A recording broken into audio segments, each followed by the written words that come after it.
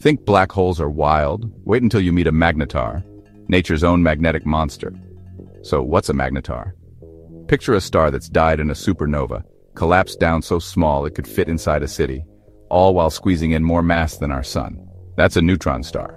But a magnetar? It's an even rarer beast with a magnetic field a thousand trillion times stronger than Earth's. Seriously, if you got too close, your credit cards would demagnetize and your atoms might not stick together.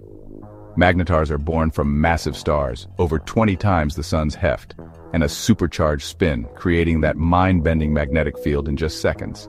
Their power isn't from spinning, it's from their magnetic field slowly decaying.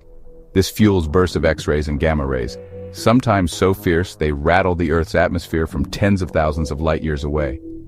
They're not just show-offs. Magnetars are cosmic laboratories, helping us probe the wildest sides of physics like what happens to matter under pressures you can barely imagine. And in 2020, one in our own Milky Way unleashed a fast radio burst, linking magnetars to one of astronomy's biggest mysteries. There are only about 30 known magnetars in our galaxy, making them the ultimate cosmic oddballs.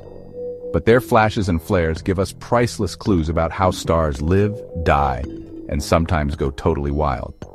So next time you look up, remember, Somewhere out there, a magnetar might be flexing its muscles, keeping the universe on its toes.